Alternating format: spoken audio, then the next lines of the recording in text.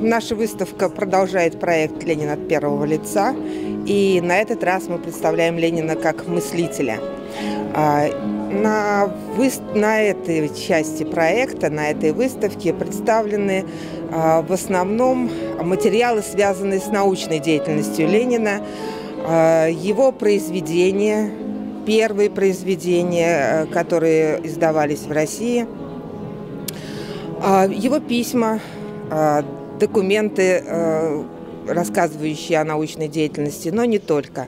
А, мы назвали эту часть э, проекта «Сложность внутренней жизни» и показали Ленина не, науч, не ученого сухаря, но как человека в том числе. Мы э, немножко привнесли личного э, в научную деятельность Ленина э, и показали его отношения с женщинами, показали его человеческие увлечения. Причем так человеческие увлечения совместили с революцией. Не только революция, но и музыка, шахматы, охота.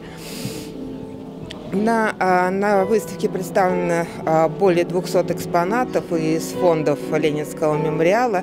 А, мы использовали несколько документов из Российского государственного архива социально-политической истории, непосредственно рукописные произведения Ленина, но и сопровождают выставку, как и первую часть проекта, высказывания самого Владимира Ильича, ведь недаром проект называется «Ленин от первого лица», то есть именно словами Ленина мы и представляем мыслителя Владимира Ильина, Константина Катулина, э, Владимира Ленина, Владимира Ильича Ульянова.